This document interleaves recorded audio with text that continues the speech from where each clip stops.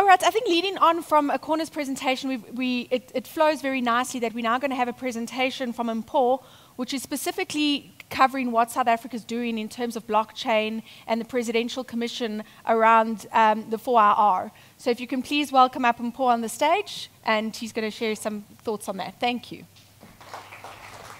We are also going to focus, yes, on the fourth industrial revolution, get into blockchain in the most meaningful way, the Internet of Things. And uh, they spoke extremely well. What they were saying was both moving, it was engaging, it was touching, very touching. Somebody was watching it online, on stream, overseas sent me a message on my cell phone and said, This is most touching. It was also informative because I think many of us have learned a lot from blockchain to cryptocurrency to all those things. Most, most uh, informative. Author and amongst various other enterprises, he is developing the first black. Good morning, ladies and gentlemen. That was an interesting clip of the president saying we're looking into blockchain and cryptocurrency. A lot of people asked me straight after that conference to say, How did you get the president to say something like that? And I always say to them that it was very simple because the president himself is very knowledgeable of cryptocurrencies and blockchain technologies. It was very simple to talk to him about it and for him to understand the concept.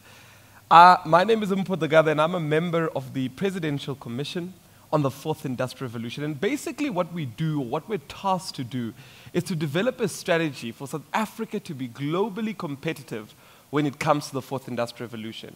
A multi sectoral strategy where we're looking at different sectors working together to actually achieve this and help the country grow its GDP and the country actually grow itself further. When we started at this commission, we had a lot of feedback from different people from all around the world saying all sorts of different things. For me, the first thing was a very serious attack on the credibility of South Africa going for the fourth industrial revolution. And I think I had a few moments to myself to ask myself the question of why is it that people are so attacking when it comes to the fourth industrial revolution? And some of the big attacks came to say, but South Africa is still very much in the second industrial revolution where we're still struggling with electricity, where Eskom is not functioning, how dare we look at the fourth industrial revolution when we still have these problems? And in the beginning, I saw it as an attack, but as time went by, I began to realize that actually people have got a point. We do have issues, and we do need to fix these issues. And the question then came about to say do we rebrand and call ourselves the Second Industrial Revolution Commission? Do we rebrand and call ourselves the Third Industrial Revolution? Or do we spearhead and go on forward to actually try and fix this? And I, I decided to go back into history to actually research what happens when a country decides to take any sort of revolution seriously? What are the repercussions? What actually happens when this happens? And when we looked at the first industrial revolution, which brought us the steam engine, which many of us are aware of, and I won't go into too much detail as to what each industrial revolution brought us, we found that the steam engine only arrived in South Africa 60 years after it had been functioning in places like Europe, etc. So it took South Africa 60 years, or rather Africa, to get involved in the first industrial revolution. And what we realized that countries that actually got inv- involved within each revolution early, took advantage of it and planned for it, actually became the most prosperous countries in that day and age. So, in the day and age when it was the first industrial revolution, it was the countries that actually adopted this new technology that actually became the wealthiest and most powerful countries within that day and age. And when we look at the second industrial revolution, which brought us many things like electricity, but also brought us the aeroplane, we found that the first aeroplane only landed in South Africa and subsequently Africa, again, 60 years after it actually landed in America. Now we ask ourselves the question that when we look at these specific technologies, what is it about these industrial revolutions that cause these countries to actually become prosperous? And we find that it is actual planning that went into it, but not only planning, participation and actual engagement of each of these revolutions that caused these countries to become successful at these revolutions. And when we look at the third industrial revolution, which brought us amazing things like the internet, which many people confuse for the fourth industrial revolution, but it is indeed a third industrial revolution technology. we found that it took seven years until the internet landed in South Africa, or rather Africa. Now, when we look at the terms of reference when it comes to each of these industrial revolutions, we find that each and every country had planned, and those that didn't plan came up with a plan as they saw this change happen to compete and become effective within that revolution, except for African countries. African countries were the only countries in each revolution that weren't actively engaged in these revolutions and subsequently had to wait for somebody from these other countries to land on the African continent and bring us this new technology. And we looked at this, it gave us more encouragement to say, although we do have issues, and we can't ignore the issues that we have as South Africa, it's important for us to actually engage and start to plan and think about the fourth industrial revolution. And that's when the commission was launched in 2019. And when the commission was launched, we actually discovered something very interesting. That all other countries, or well, first world countries, or countries outside of Africa, were all done with their strategies for the fourth industrial revolution. So, in actual fact, we were a little bit late to actually start the commission. And that's when we said we cannot waste any further time by looking at what the critics are saying, but we need to forge ahead and develop a strategy that will actually be effective and work for the African continent. And that's when we set up the Fourth Industrial Revolution Commission within the presidency. And basically, the task is to say, how do we compete effectively within the Fourth Industrial Revolution? We went on a journey to study different countries and the different strategies that they've got for the fourth industrial revolution. One that I found quite interesting that I'll share very briefly is Germany's strategy. I'll be moving very quickly to try and get as much in as possible due to time. When we looked at Germany, their aim was to drive decentralized digital manufacturing, which I found to be very interesting. Their emphasis was superior and efficient manufacturing. The strategy, which is a, a country strategy that they've got, is advancing Germany as a global innovation leader. And what I found very interesting in all the different strategies that they've got, they want to introduce what they call individualized medicine. And this medicine is medicine specifically created for your specific gene pool. So, what they do is they study the type of air you're breathing, type of area you live in, the food you're eating, and they want to put that on a blockchain and actually start to produce medicine specifically designed to you, your gene pool, what your family has suffered in the past, the food you're eating, the air you're breathing, etc., and to make that medicine more effective. And they're doing this because they've got a big issue where the population is actually an aging population. Most of the population is. So they're trying to preserve them and keep them longer and more effective for a longer period of time. And this is some of the technology that they're doing through a blockchain. Now, when we looked at South Africa and we looked at the problems we, we have in the country, we realized that we actually need to engage within this new revolution more than anyone else. Because obviously, the bigger the problems you've got, the bigger the solutions you need to actually fix those problems. When we look at our country, this is from the World Bank. There were some serious accusations by the World Bank about us not sourcing the information that they give us as government. And this information specifically shows us the fixed broadband subscriptions per 100 people in South Africa. The South Africa is the blue line, and the red line is the rest of the world. And as you can see, South Africa is not doing very well as compared to the rest of the world. And South Africa, being a leader in Africa, depicts what's happening with the rest of Africa. So if South Africa is not doing very well when it comes to fixed broadband, it clearly shows us that the rest of the world, the rest of Africa, is not doing well as well. And when we looked at the mobile cellular subscriptions per 100 people, we saw the opposite. That South Africa is doing better than the rest of the world. So we began to ask ourselves this question to say, what is actually going on in South Africa? Is everybody deciding to buy cell phones and nothing else? And when we looked at the different landscapes of Africa, we noticed that that's why systems like M-Pesa thrive so well. Because in Africa, the adoption of cellular mobile subscriptions is actually increasing at a very rapid rate. And the rest of the world is looking at it to say, we have an opportunity here where we're seeing that Africans are very engaged within mobile cellular than anything else. And when we looked at this, we realized that the aptitude for Africans to engage with technology is actually there we need to actually fix where the issues lie, which some of the issues is the internet. When we look at the economy, the South African economy, we realize two big challenges that we need to solve.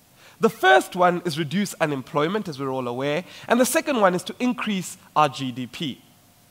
we looked at bringing in policy that will actually help create an inclusive growing economy. And the reason I say inclusive is because South Africa happens to have, and even Africa, one of the most non-inclusive economies in the world where we've got majority of the people who are actually living in poverty. When we look at our weaknesses, we realize that global competitive is a weakness, the ease of doing business in South Africa, inequality, which I've just mentioned, and a high unemployment rate. And worst of all, it's the highest when it comes to the youth. We needed to create policy around the fourth industrial revolution that will actually help and fix these four big issues that we've got in South Africa. When we looked at our strength, we looked at the strengths and realized that the strengths point us to one way and one way only. Our natural resources is our strength. Our continental economic and political powerhouse of South Africa being the leader in Africa. And not only that, but also South Africa taking the chairmanship of the African Union, as the president is now the chairman of the African Union. And a mature financial services sector. We're sitting in Investec, so I'll give them the compliment of saying we've got some of the best banks in the world. When we look at our strengths and we look at how we can leverage 4IR technologies to help these strengths, we realize a very easy roadmap that can actually be created. And these are some of the solutions that, at a high level, government is looking into to say, how do we actually create these solutions? This is a bit of some gossip, but I'll share it. We received some engagement from Elon Musk saying he wants to start mining as Tesla because they're experiencing some production issues within Tesla to actually meet the demand that they've actually got. So Tesla wants to cut out the middleman and actually get into the dumps and start mining for their lithium batteries, etc. Now, when we look at the interest all around the world, we realize that the world is very interested in minerals in Africa. We're all aware of it. And when we look at our GDP, we realize that our GDP, and the reason why we've got a, a GDP that's continually growing, or a GDP that's done well, is because of our minerals. How about we put a blockchain system to fix our minerals in South Africa. But not only fix our minerals, attract capital, keep a record that will actually prove to the rest of the world that we're not corrupt when it comes to minerals, and open up the market to not only the sophisticated JSE shareholder, but to anybody who can buy a cryptocurrency coin, to anybody who can plug in to a blockchain system. How about we create a value system where when we look at a mineral like chromium or chrome, which South Africa has reserves of about 70% of the global supply of chrome, we've got as South Africa. How about putting that in a blockchain system and allowing different people from all over the world to plug in? Not only from a capital perspective, but also from a mineral perspective, end to end usership on a blockchain system. And these are some of the solutions that we're realizing that if done properly, if implemented properly, if we've got people that can look into it and do it in an efficient way, we can have companies like Tesla plug and play into those systems and we'll be able to boost our economy. But obviously, this cannot be done if not done properly. It cannot be done. And the reason why I'll explain this is because we actually need to get the country ready to do it properly. We need the person in the community to understand that by them striking and having a mind on a blockchain system which actually works through tech, it could affect them very quickly because with a blockchain system, people are able to see the data in a three dimensional data space and make decisions on the investment which could harm them forever. But for us to get to that level, we need to make sure that every citizen in the country is aware and educated to that level. For us to get to the community and speak to the chief and say, we're going to put this mine on a blockchain system, and as soon as we launch it, capital will flow from all around the world, which will enable everything to happen efficiently, quickly, on a record. We need to get the chief, his headman, and that community well educated about how that actually works. But not only that, we need to get them to understand blockchain technology. Because for them to engage with it and actually be proactive and active into it, they need to understand it. So these are some of the underlying problems that allow us to dream at that level, but we need to fix these problems before we can even get there. And this is where the blockchain technology community within South Africa and in Africa needs to be active about telling everybody about this good message of blockchain to say we can actually create something quite amazing. The founder of the World Economic Forum said something which resonated very well with me. He said, I'm convinced of one thing that in the future, talent, more than capital, will represent the critical factor of production. And this is when the Commission has decided to say we need to reskill almost every citizen within South Africa. Because we're realizing that in the future, it'll be more about what you know, the talent which you have, than anything else. And that will be the critical factor in anything. So that's one of the big resolutions that the Commission has taken to say we need to make sure that each and every program in South Africa, be it the SETAs, be it the universities, be it every institution, be it every single system, we need to reskill our people and make sure that our talent pool is very strong more than anything.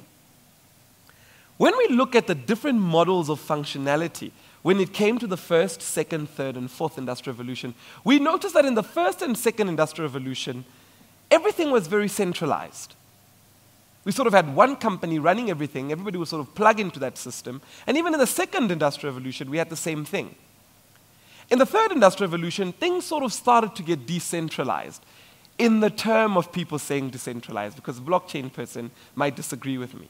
But in the third industrial revolution, we sort of saw different corporates come on board and actually power moving into these decentralized pools, Google having its own data, Facebook having its own data, etc. But in the fourth industrial revolution, we're moving on to a more distributed network where we allow everybody to sort of own their own data. When we looked at the UK and some of the policies that they've got there, in the UK, if you've got a bank account number, apologies, Investec, if you've got a bank account number in the UK and you decide to move from one bank to the other, you're allowed to move with your bank account number because that data belongs to you and not the bank. And in the UK, they're rolling out more information about data to say who truly owns data? Where should this data sit? We cannot put this data with government because that actually puts the data itself at risk of hacking and being manipulated, etc. Who should own data? And this is where blockchain comes in place. To say the world is looking at actually putting data into that. And this is where even government is looking at. Because when we had our meetings and we asked ourselves a very significant question within government to say, who owns the most data when it comes to South Africans in the world? We realize that it's not actually government. Is it Facebook? Is it Google? Is it the banks? I won't answer that. But what we need to look for is solutions that are going to help us decentralize and distribute this data and allow the individual to own the data. And these are some of the big policy statements that are being worked on currently in government to say we need to fix the data issue. Not only data in terms of data must fall in terms of the data prices, but data in terms of ownership. Who owns it and who's allowed to do what with it? And at what stage do we allow the person to monetize that data? At what tax do we implement on that data? How do we make sure that that data is not manipulated? And these are the sort of questions that need answers. And as we all know in this room, that blockchain can answer these questions in a very simple way. 84% of companies, according to PwC, are actively involved within blockchain technology. And we're seeing headlines like Volkswagen to track mineral supply chains using IBM blockchain. And again, I pose to you this question that if our strength as Africans is minerals, and the rest of the world is looking to track these minerals through an IBM blockchain, we need to be educated about how to use blockchain within the mineral space. And that's in South Africa, most of it is in the rural areas. Data is the new oil. When I was preparing this, this, this presentation, I wanted to change the slide and put that down and put the price of oil currently because it is quite something interesting. But data is the new oil. And data is the new oil that fuels artificial intelligence. And blockchain technology works hand in hand with artificial intelligence, and this is what the world is moving towards. I was laughing with a friend of mine when we read a document from Russia where President Vladimir Putin's daughter is now the head of Russia's Artificial Intelligence Institute. So Russia has now set up an artificial intelligence institute that looks to advise each and every person and company in Russia on how they can leverage artificial intelligence to do and become better as a country when they compete with the rest of the world. I said to a friend of mine that if the president of South Africa son was to be the head of that, we'd have a lot of media um. But in Russia, it seems nobody wants to disrespect, disrespect President Vladimir Putin. But this is a very interesting point that the government is looking into to say, how do we ensure that data is not manipulated by artificial intelligence? I had a conversation with the CEO of Vodacom, and it was very interesting because he said to me that they've implemented artificial intelligence into their systems at Vodacom. And he said that some of the data that they're able to pick up on is that everybody who wakes up before 5 a.m. or at 5 a.m. is not a good target to market airtime advance to them because they generally don't buy airtime advance. Everybody who wakes up after 5 a.m. or rather later on 6, 7, 8 are actually a good target to market airtime advance. I don't know if people here know airtime advance. Maybe this is a good crowd. Airtime advance is where people sort of get a loan on their airtime. So when they run out of airtime, they actually get a loan on it. And then when they buy airtime, they pay back that loan. So it's like a loan of airtime. So through this artificial intelligence mechanism, they were able to get that information from that, and they're using that information to make more profit because they're able to market exactly to who they know will be able to buy their product. And if governments are not moving quick enough to catch up on this and regulate this, we'll have a big problem where everybody who's got an artificial intelligence system and is using it to the best of their ability will become the most profitable. And that might in itself have a moral issue behind it which is something everybody needs to be aware of. I've got two minutes left. When we look at these four different systems tokenization, initial coin offering, smart contracts, three dimensional data we're able to actually find out that through blockchain technology, we're not only able to create a more transparent world, but we're able to actually better the systems and more efficient ways of doing things. And I'll give you an example with Chromium. Chromium is based on percentage, and that's how they tell the price of chromium. So you've got chromium at 40%, chromium at 46%, and the price is determined based on that percentage. Now, using a tracking system that gives you the data automatically at that given time that the chromium is washed or mined, you're able to actually create a coin that represents that data, and people are able to trade and interact with one another at a more transparent level because that data is now given at an instantaneous moment. Whereas the current situation, it is only the mind that knows that data, and only when they reveal the papers after they've tested, that's when you'd know. So the trading in itself can actually happen at an exponential rate, where the whole world knows at the exact same time that the batch of chromium that's just been found sits at this percent. And that can be done through a blockchain system. Now, not only does blockchain help do that, it also helps make the process much more efficient and grow that market within that value chain. Because then different liquidity providers can then come onto that blockchain and actually better that system in a much better way. I've run out of time, but in conclusion, I want to make everybody aware that within the presidency, we're actively involved and engaging blockchain technology to better our country. Will it take time? Definitely. Do we have problems? Big problems. But are we engaging and making sure that we're working with these things differently? And we cannot do it alone. And this is why we're, we're so excited to engage with conferences like these because we're aware that it is through each and every person's involvement that the country can actually become a better place. So, blockchain technology is a definite yes from the presidency of South Africa. Thank you very much. No, you're not escaping yet. I'm letting somebody ask a question. Anyone would like to ask, ask Mpho a question? Yes, we've got one over there. Thank you.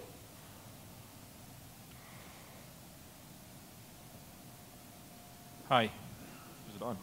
Okay. Um, just a quick question. So it was mentioned yesterday about, um, you know, blockchain is only really a trustless system if we limit the human interaction from the starting point. When you talk about minerals, uh, I think the world also currently has a big distrust in Africa. Um, so if you're going to enter information about chromium's percentage and a human's going to enter it, how are we going to build that trust with the rest of the world that the, the information that's being loaded is correct and true? Very good question. Are we going to get the second question? Should I answer the first one? No, you can. We, we're Okay, only going to take one. Okay, cool. You've asked a very good question, and, and that's some of the things that we're grappling with. So in Dubai, what they've done with their oil rigs is they've actually put a mechanism that tells you the, the, the, so it separates the quantity of oil and water that they're actually getting from the rig. So that device actually tells you what's the quantity of oil or water that's being taken out at the time. You are very right in saying that in South Africa we've been riddled with corruption, etc. So how, how will the world then trust that the data we're putting on there is actually real? I guess that's, that's a market related solution problem that the market will have to come with. But in all transparency, our aim is to try and get to the point where we, we don't have that. And that will have to be a regulation sort of point of view to say anybody who is that corrupt to do that should be um, put under the, the jurisdiction of the law. But the aim of it is to make sure that we get to that point where it is transparent to the point where nobody questions it. Um, and build that culture to say every mining house will have to be transparent about those things. So the aim is transparency, but we cannot ignore that corruption might be there, and that will have to be dealt with with the law. Okay. Mpho, thank you. Thank you Thank very you. much.